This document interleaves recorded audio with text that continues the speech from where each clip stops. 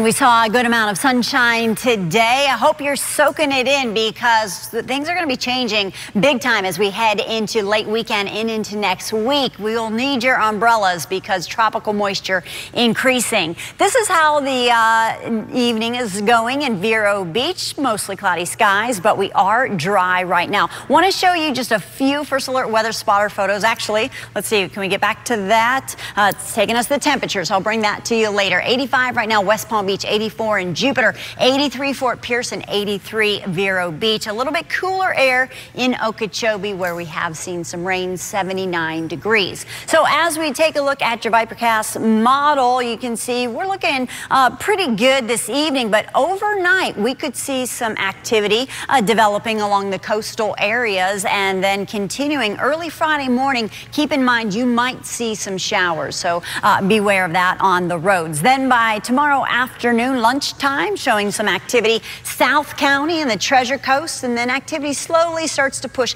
inland for the most part and your Friday evening once we get past uh, the daytime heating we'll be winding things down. All right let's talk tropics. It's the big weather story. This is the area we're watching the Gulf of Mexico. Now we're watching for an area of tropical development. It only has a 30% chance of development but the thing is whether or not it develops into a depression or or a storm, it's still going to bring us extra tropical moisture. So we're still going to see big impacts here. Hurricane Kirk out in the Atlantic is a Cat 4, so a very strong storm, but it's not expected to impact anyone, and nor is Tropical Storm Leslie. So that's good news with those two systems. Kirk will race to the northwest and then off to the north and northeast, recurving into the northern Atlantic, so not expected uh, to bother anyone. And Tropical Storm Leslie heads a little more uh, west as a major hurricane, but eventually expected to take that turn to the north. Okay, so back here at home, closer to home, I shall say, we are watching lots of showers and storms associated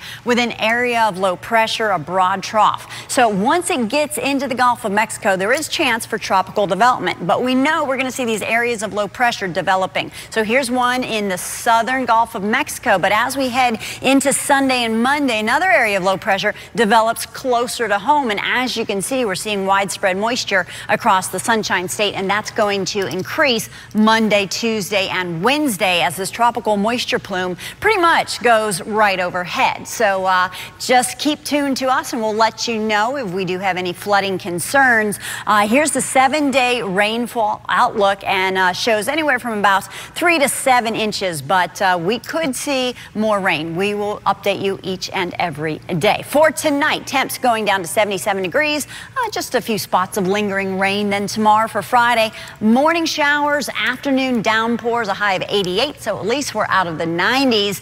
And for the boaters, seas to 2 to 4, winds out of the east 5 to 10.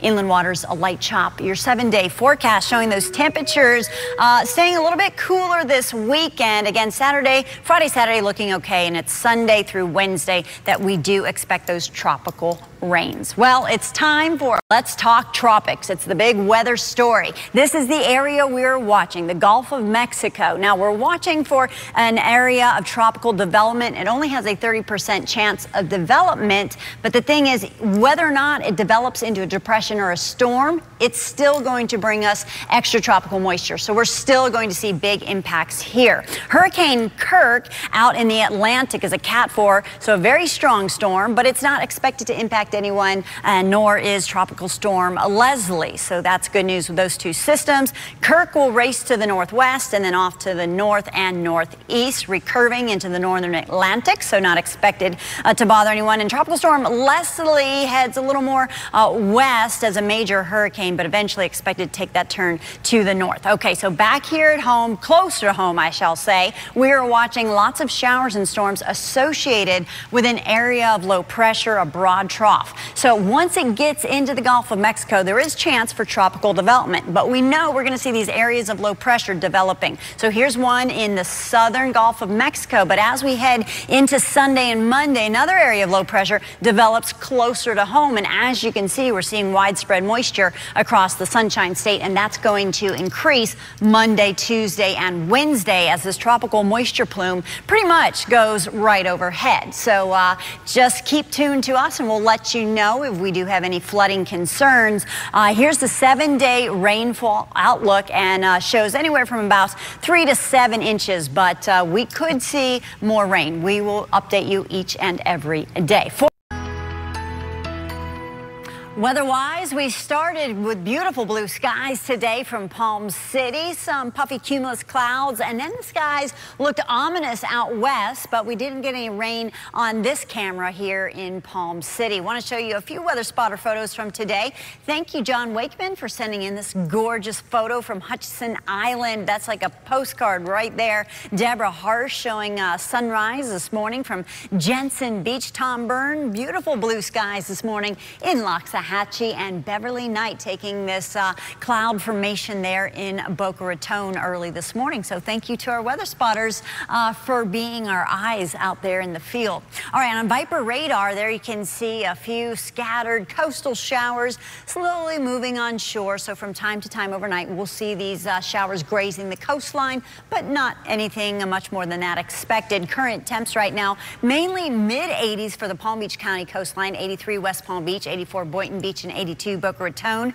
And similar temperatures for the Treasure Coast, 83 in Vero Beach, 82 Sebastian, Indiantown, 80 degrees, and Wellington right now still warm, 84 degrees. Well, this is the big weather story, the tropics. We've been talking about this area of low pressure trying to develop in the Gulf of Mexico. We believe that it will, and uh, whatever it does do, it will bring us heavier rain amounts as we head especially into next week and it looks like it's going to be a prolonged time of enhanced moisture. So more on that area in one moment. Hurricane Kirk is a very strong Category 4. I mean, that's uh, very, very dangerous, but thank goodness it's out over an open ocean. Tropical Storm Leslie right now, max winds only around 50 miles per hour, but it is expected. This is the big weather story, the tropics. We've been talking about this area of low pressure trying to develop in the Gulf of Mexico. We believe that it will, and uh, whatever it does do, it will bring us heavier rain amounts as we head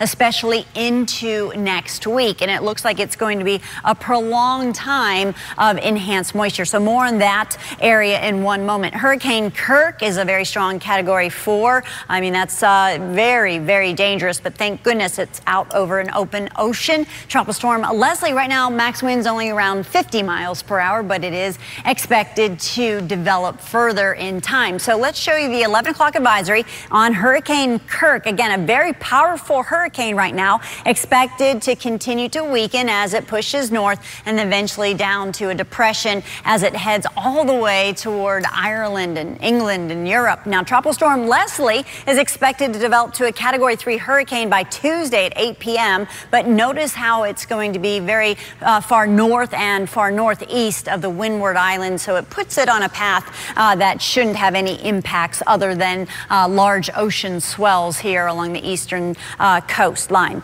Back here in the Gulf of Mexico, and this is where we typically look for tropical development this time of year. We're watching for an area of low pressure to develop. In fact, two areas of low pressure look to develop, and this is the beginning of the rains on Sunday with strong storms, and that tropical moisture continues uh, right through the work week, that moisture plume.